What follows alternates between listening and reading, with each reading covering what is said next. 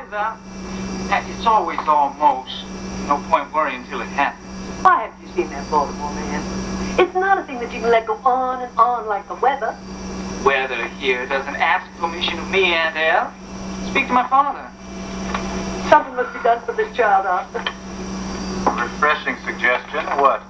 Well, this very famous oculist in Baltimore that I wrote you about, uh, what was his name? Uh, Dr. Chisholm? yes. Now, I heard lots of cases of blindness that people thought couldn't be cured. He's cured. The Child is blind and deaf. I have to stop believing in wonders. I think the captain will write to him soon. Won't you, Captain? The child's been to specialists all over Alabama and Tennessee. If I thought it would do good, I'd have her to every fool doctor in the country. I think the captain will write to him soon. Katie, how many times can you let them break your heart? Any number of times. Now, what, John? As long as I think there's the least chance for her to see or hear. Well, there isn't. Now I must finish here. I think, Captain, with your permission, I would like to write. I prefer we don't, Katie.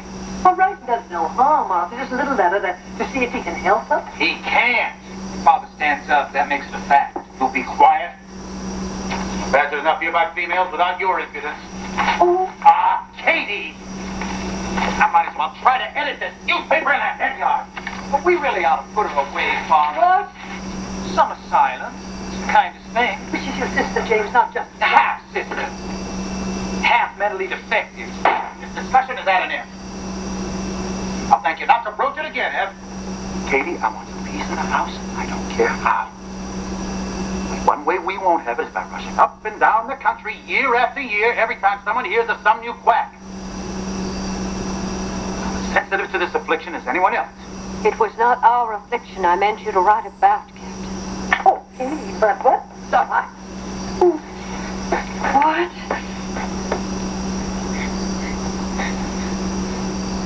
Eyes. She wants the doll to have eyes. She doesn't know any better than to have our stone back on later. Never learn. With everyone letting her do anything, she takes it into her mind, too. You be quiet. What did I say now? You talk too much. I was agreeing with you, whatever it was. Our child, the least she can have are the little things she wants. Oh, where's a couple of buttons? Look, Jimmy? Sir? Don't look dressed for anything useful, boy. I'm not. For Miss Sullivan. Huh? Captain, we're off to meet the train?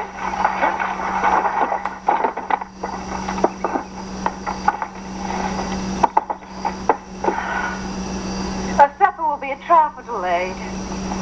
What, again? They're here! Captain!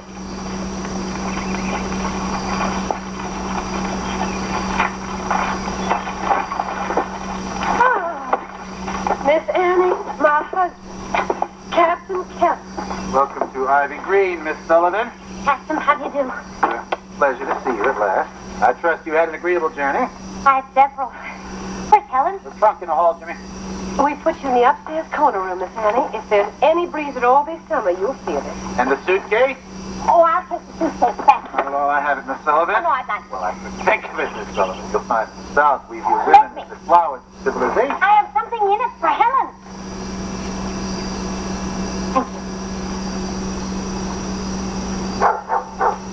Of course. Would you prefer to search for yourself, Captain? No, I would not. She nearly took my kneecap off this afternoon when... Take that ladder back. Certainly. She could have hidden it somewhere. Where? Well, in the grass, under a rock, in the flower bed. Well, I can't plow the entire grounds looking for a missing key. Jimmy! Sir? Bring me a ladder. Certainly.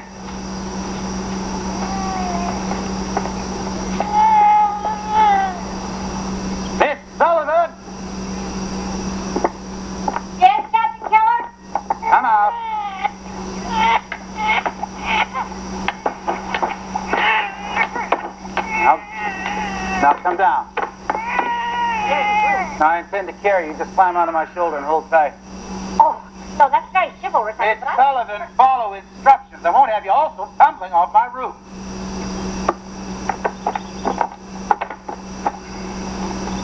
Captain Keller, I'm perfectly able to go down a ladder into my... I doubt that, Miss Sullivan. I just hold on to my neck. My neck, Miss Sullivan! I'm sorry for inconvenience this. Oh, no inconvenience at all, other than having that door taken down and the lock replaced. Fail to find that key. I'll look everywhere for it. Thank you. Not looking any rooms that can be locked. There. Thank you very much. What are you looking at here? You back to your work? Nothing to look at here. Now, would it be to have supper like other people? Oh, my dear child, now the two weeks are up today. Surely, if... They're not up until six o'clock.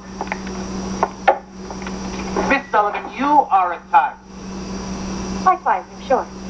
I don't think you know how eager we are to have the child back. I do know. It's my main worry. It's like expecting a new child now. You've done one. I want more time. Miss Annie. Another week. We missed it. I miss you. I'm glad to say that's a different debt I owe you.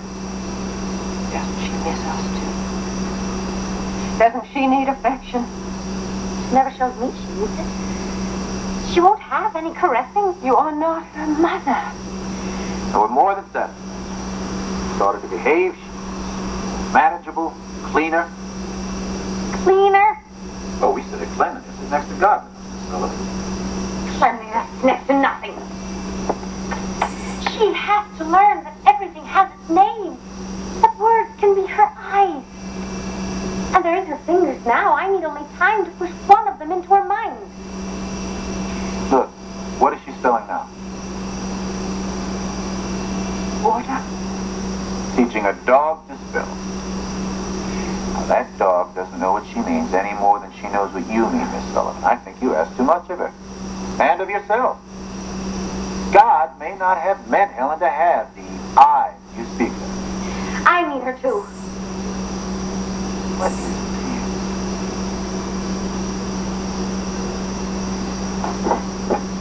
Half a week. I want her back.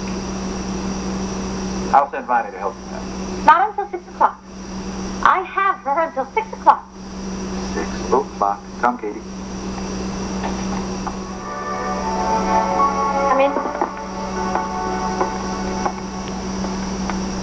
Miss Hannah, your first month's up. With many more to come. Doesn't express feel the out depth what do. I taught her one thing. No. Don't do this, don't do that. That's more than all of us put in all the years. I want to teach her what language is. Obedience without understanding is a blindness too. That's all I've wished on her. Maybe I don't know what else to do. Keep on doing what I've done and have faith that inside she that inside it's waiting. Like water underground. You can help, Captain Keller. How? The world isn't an easy place for anyone. I don't want her just to obey. But to let her have her way in everything is a lie.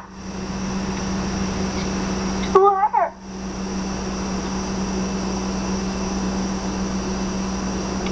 Don't even love her. She's not my child. Well, you've got to stand between that lie and her. Agreed. Won't you come to supper?